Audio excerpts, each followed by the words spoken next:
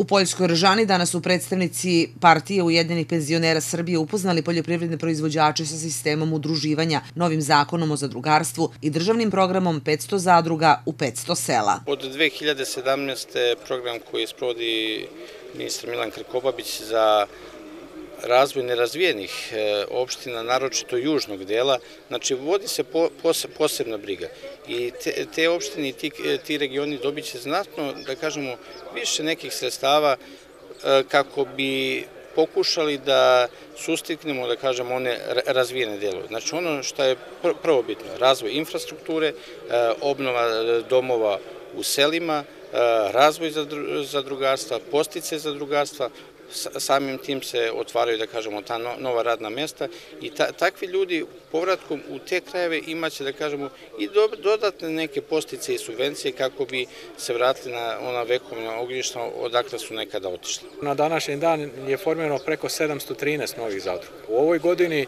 gde smo na pola godine, gde smo imali problema sa koronavirusom, nažalost, formirano je 82 nove zadruge. Znači, nije nas ni to sputalo. Nama je značajno da se, da se poljoprivredni proizvođači, da se zadrugari okupljaju, da razgovaraju o zadruze bez udruživanja, nema nam, e, nema nam drugog nekog rešenja spasonosnog. U, mi stremimo ka Evropi, sve zemlje sa razvijenom, u evropskom razvijenom poljoprivrednom baziraju e, svoju e, agrarnu politiku kroz zadrugarstvo. Akademija je osmislila način da možemo da zadržimo mlade ljude na selu. Jedan od načina je, apsolutni prioritet je dat na, na udruživanje. Bilo kakvo, a posebno udruživanje preko zadruga. Značaj zadruga je veliki zbog toga što postoji i obaveza i pravo.